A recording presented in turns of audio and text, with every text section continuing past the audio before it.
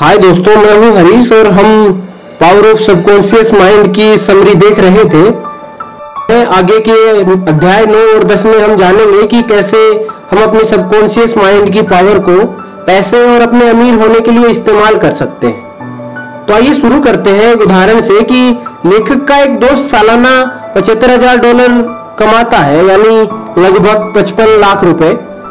वो एक बार दुनिया घूमने के लिए नौ महीने की लंबी छुट्टी लेकर एक क्रूज पर गया।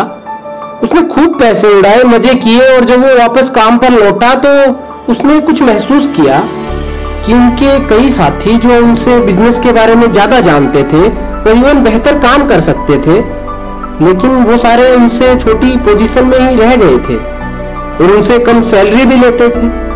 ऐसा क्यों था? क्योंकि उन सबको ना तो अपने सबकॉन्शियस की पावर के बारे में पता था और ना ही कोई इंटरेस्ट और इसलिए उनके कोई बड़े सपने नहीं थे। ऐसे लोग एक तरह से क्रिएटिविटी से भी अक्सर कोसों दूर रहते हैं। सच तो ये है कि कोई भी रातों रात अमीर नहीं बनता सिर्फ़ सोचने भर से। इसके लिए आपको सबकॉन्शियस माइंड में कुछ नए आइडिया सोचने होंगे। इसे मोटिवेट करना होगा, तभी तो ये आपको अमीर बनने में मदद कर पाएगा।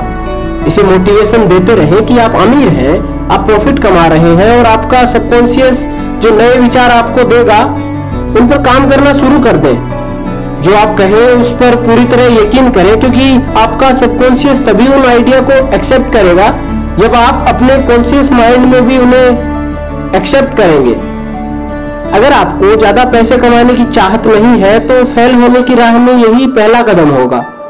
सबसे पहले तो ये कि दिलो दिमाग से ये विचार निकाल दें कि पैसा सब बुराई की जड़ है, क्योंकि जब आप इसे बुराई मानकर नफरत ही करेंगे तो भला इसे कैसे अपनी तरफ़ अट्रैक्ट कर सकते हैं? पैसे से नफरत करेंगे तो आपके हाथ कुछ नहीं लगने वाला। इसके बदले पैसे को अपना सबसे बड़ा दोस्त समझकर इसे प्यार करें। अपने अमीर होने पर यकीन रखें, जो लोग पैसे की बुराई करते हैं, अक्सर वही किसी ना किसी फाइनेंशियल परेशानी से गुजर रहे होते हैं।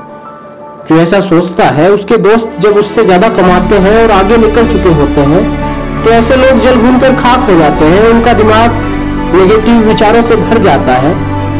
जिस चीज़ के लिए वो प्रे कर रहे होते हैं, अब उसी को कोसते रहते हैं। पैसे की ताकत बड़ी है, मगर इसे भगवान न बनाए। पैसा तो बस सफल होने की एक निशानी है। असली खजाना तो हमारे दिमाग में छुपा है, जो हमारे विचार है। इसलिए पैसे की कभी भी बुराई ना करें।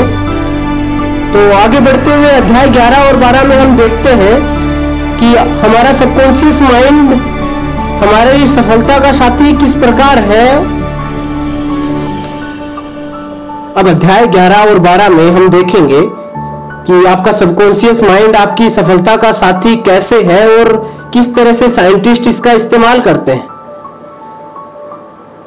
जो लेखक हमें बताता है, उसमें सफल होने के तीन खास स्टेप्स हैं। स्टेप पहला है कि अपने पसंद की चीज़ें करें जिनसे आपको खुशी मिलती हो। अगर आपको पता नहीं कि वो क्या है तो उसे जानने के लिए पूरे दिल से प्रार्थना करें। दूसरा स्टेप जो है, वो है कि किसी एक खास चीज़ में महारत हासिल करें, जो आपको पसंद हो, उसके बारे में ज़्यादा से ज़्यादा जानकारी रखें। जैसे कि, मान लो आपको डेंटिस्ट का काम पसंद है तो इसकी किसी खास ब्रांच में स्पेशलिस्ट बन जाए, जैसे एंडोडोटिक्स या ओरल सर्जरी या किसी और चीज़ में। स्टेप नंबर तीन जो है, वो है कि जो भी आपको पसंद हो, वो सिर्फ़ आप तक ना सीमित रहे। सिर्फ़ आप ही नहीं, बल्कि बाकी लोगों के भी काम आए। अपनी पसंद से दूसरों का भी भला करे तो बेहतर होगा। इन सब स्टेप्स को अपनाते वक्त अपने सबकॉन्शियस की पावर को कभी ना भूलें। बहुत से साइंटिस्ट इस बात को जानते और मानते थे। एडिसन मार्कोनी आइंस्टाइन और बाकी बहुत से साइंटिस्ट अपने सबकॉन्शियस की आवाज़ सुनते थे और इसका उन्हें बहुत फ़ायदा भी हुआ। बेहद कामयाब इलेक्ट्रिकल साइंटिस्ट टेस्ला को जब भी कोई आइडिया आता था तो वो अपने ख्यालों में ही उसका इन्वेंशन कर लेते थे। वो चाहते थे या जानते थे कि अपने सबकॉन्शियस का इस्तेमाल करके वो जो चाहे वो बना सकते हैं। उनका दिमाग उस पॉइंट पर पहुँच चुका था कि किसी भी डिज़ाइन के इन्वेंट होने से पहले ही उनके दिमाग को उस डिज़ाइन का डिफेक्ट भी नज़र आ जाता था। इसलिए इन्वेंट करने से पहले ही वे डिज़ाइन इस तरह से बनाते थे कि उसमें कोई डिफेक्ट ही ना रहे, जिससे उनका पैसा और वक्त बर्बाद होने से बच जाता था। तो ये थी हमारी आज की समरी जय हिंद, जय भारत। जुड़े रहने के लिए शुक्रिया। मिलते हैं अगली कड़ी में।